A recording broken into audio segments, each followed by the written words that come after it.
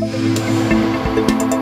Первые онлайн-торги по безопасному городу прошли две недели назад. Аукцион был на понижение цены проекта. Участие приняли три компании – Кыргызтелеком, российский концерн Вега и отечественный провайдер Мегалайн. Сумма, которую предложила Мегалайн, внезапно оказалась в 20 раз больше, чем стоит проект – 50 миллиардов 200 миллионов сомов. Случившееся позже назвали технической ошибкой. Сама компания заявила, что сумма, которая высветилась во время торгов, удивила их не меньше остальных. Сумма нашего предложения отличалась от той, которая была показана. В процессе аукциона мы поняли, что что-то идет не так. Не были обозначены суммы других участников. Нам не было смысла вести электронные торги, так как не с кем было торговаться. Других участников мы не видели. Их показали после того, как сформировали протокол вскрытия. Если этот аукцион признают недействительным, мы готовы на таких же условиях участвовать в следующем. Мегалайн – компания, которая по сути занимается транзитом интернета, покупает его оптом и продает в розницу. До этого провайдер не реализовывал такого рода масштабные проекты. Впрочем, скорее всего и не будет. В последнем аукционе компания почему-то не участвовала. Комментировать причины представители Мегалайна отказались.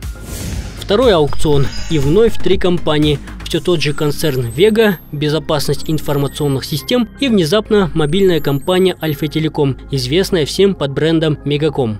Начнем с российской компании «Безопасность информационных систем». На деле это оказался старый знакомый Кыргызтелеком. В консорциуме с этой иностранной фирмой, то есть своего рода в партнерстве, Телеком и принял участие в торгах. Стоит сказать, что безопасность информационных систем уже реализовывала подобные проекты в 45 регионах Российской Федерации. Следующий участник – Альфа-Телеком. Специализируется на мобильной связи. Компания была национализирована после апрельских событий 2010 года. Ее саму пытались продать несколько раз, безуспешно. С компанией связаны крупные политические и коррупционные скандалы. Опыта в реализации подобных проектов нет.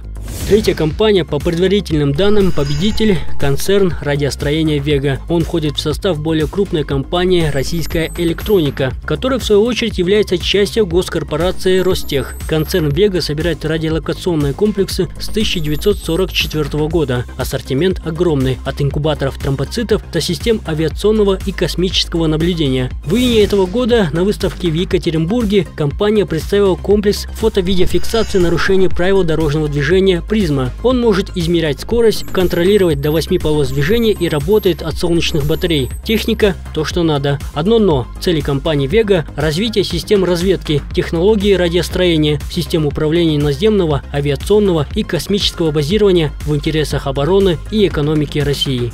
Марат Ахматов, Хасан Гафиров, телеканал «Апрель».